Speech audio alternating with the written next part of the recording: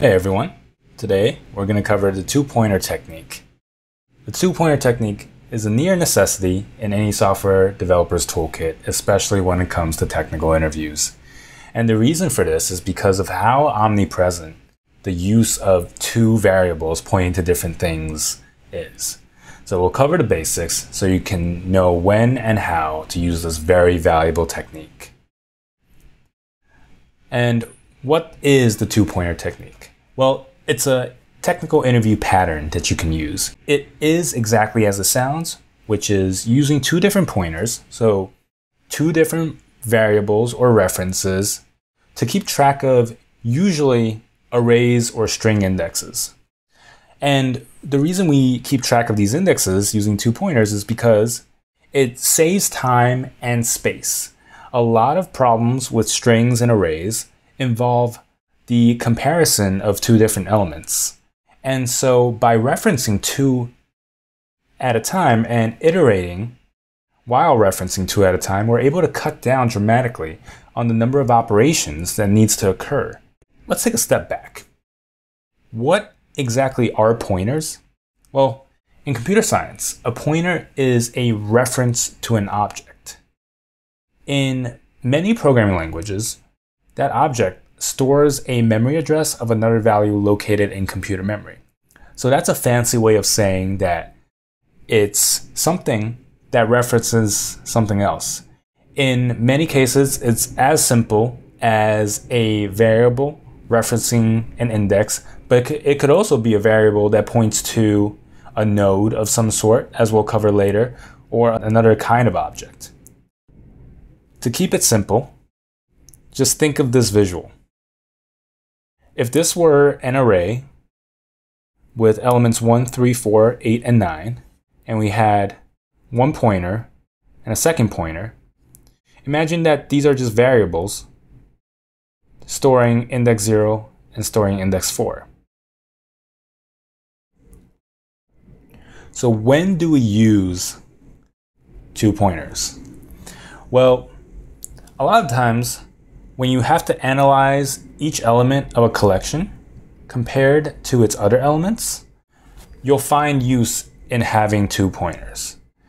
For example, let's say we have an array and we want to start from the first index of the array and iterate through the data structure one or more times. Having another pointer gives us something to keep track of each level of the loop.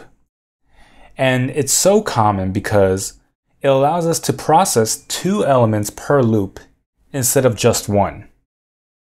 So what we're going to explore today is two different versions. Two pointers, each starting at the beginning and moving inwards until they meet. And two pointers, one slow and one fast. And these patterns can be used for string or array questions, or as we'll see, some linked list questions as well. So let's run through an example. Many of you will have heard of the two-sum problem. The two-sum problem is this. Assume you have a sorted array R.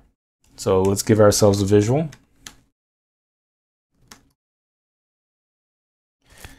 And you're tasked with figuring out the pair of elements where R, P, so element P in R, and RQ, element Q in R, where they add up to a certain number. So let's say here they add up to 6. So from a quick glance, we can see that 2 and 4 add up to 6. If we were to get the machine to do this, though, one way is to iterate through each element, and then at each element, iterate through each other element, and then compare the two. But that gives you a time complexity of O of n squared because at each iteration, we have to iterate through the entire array again. but, but we can optimize. We can use two pointers instead. So here on line 4, we assign a variable called pointer1 to 0, which is the first index, and pointer2 to the length of r minus 1, which is the final index. So length r minus 1 gets us the last possible index in that array. And when we first start, pointer 1 points to the first element in the array, and pointer 2 points to the last element. So we have this setup where we have a function for 2 sum, and we have 0, and then the end, and our iteration starts while pointer 1 is less than pointer 2. So since the array is sorted, we can use two pointers to process them faster. So that's what we've been doing. One pointer starts from the beginning, one pointer starts at the end, and we just add the values at these pointers and move them correspondingly as we iterate and discover more about the uh, elements. So how do we discover more about the elements? We can use a check like this. We'll get their sum, and if their sum equals the target value, then we'll return true. So what if it's not the target value? It likely won't be because we need to have this discovery phase. And so as we're as we're moving, we need to tell it to move inwards. So starting at the beginning and starting at the end, what we want to do is go in. So we'll move pointer 1, which starts at 0, inwards, and we'll move pointer 2, which starts at the end, inwards as well by adding one and then by subtracting one. So fleshed out together, here's what we have. Two sum, pointer 1, pointer 2, while 1 is less than 2, we find a sum, and then if it's not what we want, if the combination is not what we want, we move them inwards, depending on which will get us closer.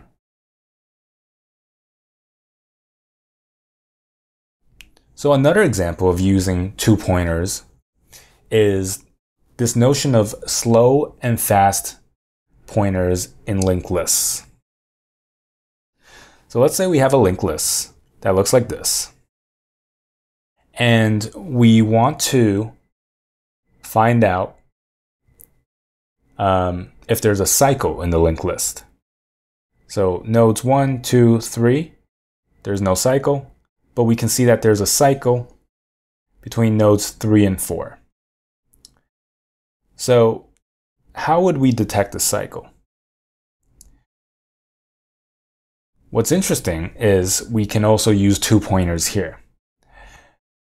The idea is to move the fast pointer. So there's a slow and a fast pointer. The idea is to move the fast pointer twice as fast as the first pointer. And what'll happen is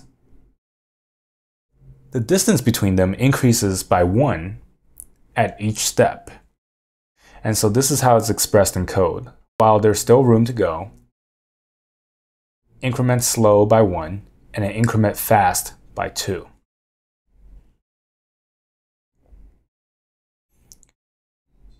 At some point, if both pointers meet, then we'll have found a cycle in the linked list. If we reach the end of the list and no cycle has been found, that means no cycle is present. And so this runs in linear time, and it might be a little confusing as to why it works. So let's think about this. Let's do pointer 1 is the slow pointer. So iteration 1, it'll move here. Iteration 2, it'll move here. And then at iteration 3, it'll move here. And then at iteration 4, it'll move here. So that's the slow pointer. With the fast pointer, iteration one, it'll move to three. And then at iteration two, it'll move from three back to three.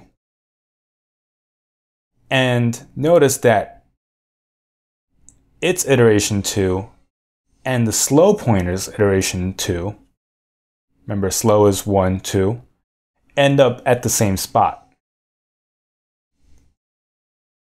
And so here's the full code for using two pointers to detect a cycle. The theory behind slow and fast pointers can be found on another tutorial on and, and in other places on algodaily.com. But for now, this is a introduction to the use of two pointers, and I hope you learned.